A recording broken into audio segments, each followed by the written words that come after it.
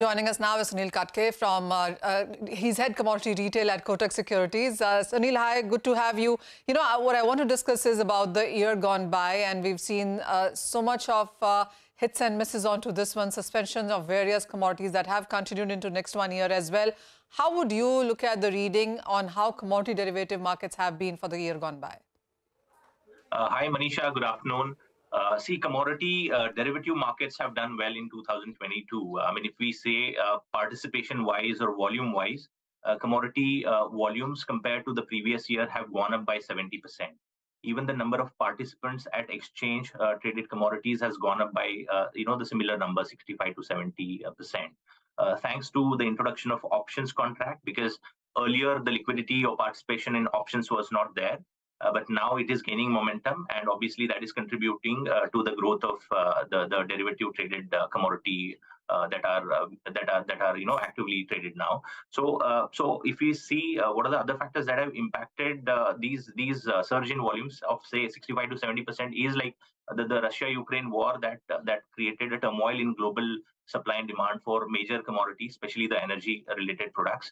Uh, that led to a lot of volatility. Now these volatilities do uh, you know grab the attention of a lot of traders you know these traders tend to use the futures and options instruments to to make the most of the opportunities that are available hmm. so all in all if we see uh, the global un, un, uh, you know uh, economic uncertainties that we saw uh, the inflationary related concerns that we saw across the globe uh, fed's you know counter attack on you know taking down the inflation the rate hikes that we saw you know that led to a lot of volatility in precious metals be it gold silver industrial commodities also uh, have been volatile. Yes. Even the energy, uh, you know, segment was the most active one during 2022, sure. and obviously these uncertainties have actually given uh, an opportunity for traders to make the most of it. And uh, you know, like like I said, 70% increment in one year time compared to the previous year is a good number.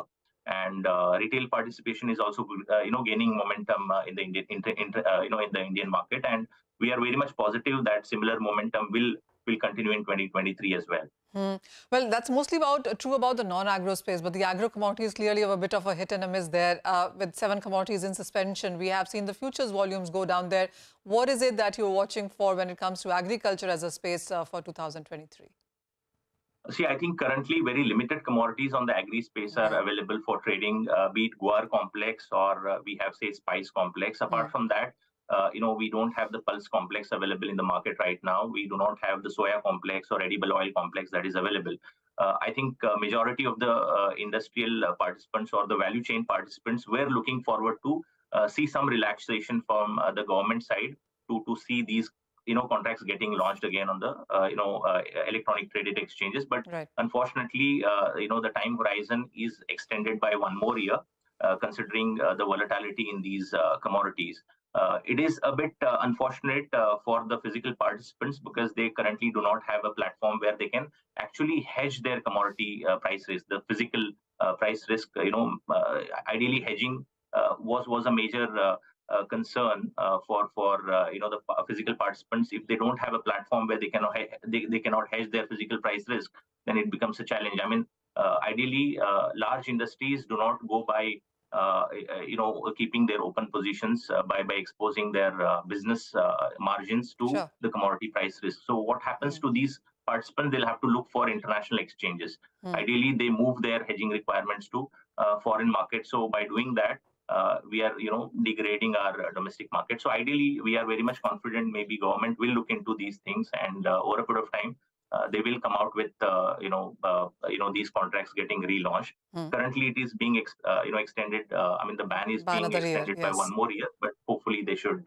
look into the same. Absolutely, Sunil. Also, I mean, as you said, there has been a 60 to 70 percent of a jump up when we look at participation, even volumes for that sense. Would you say much of that really comes in from options? Is index also picking up the index, index trading that is?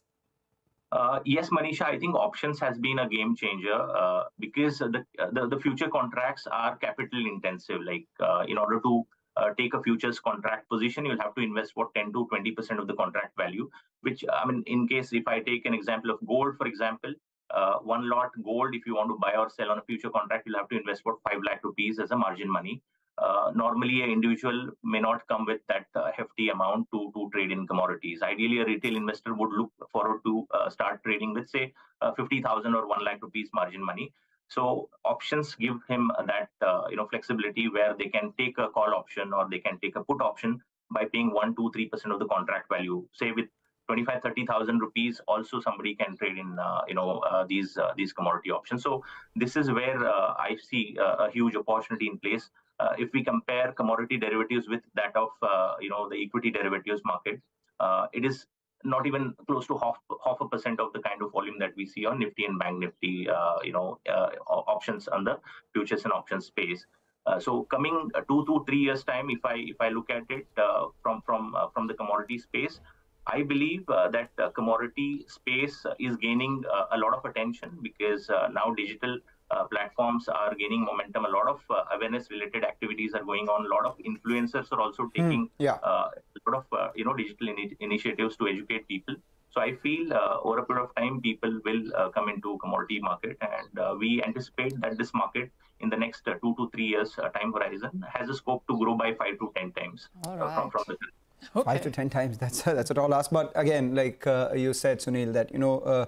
Globally, commodity derivatives are way bigger than equity derivatives. In India, it's of course uh, just about 50% or less than that, uh, uh, basis the numbers that you're talking about. Manisha, Sunil, thank you so much for joining in. Sunil, wish you a happy 2023 as well. With that, uh, we're out of time on this edition of Halftime Report. You stay tuned. The Nifty Bank and the Midcap Index have inched back into the green. Let's see what happens to the other indices.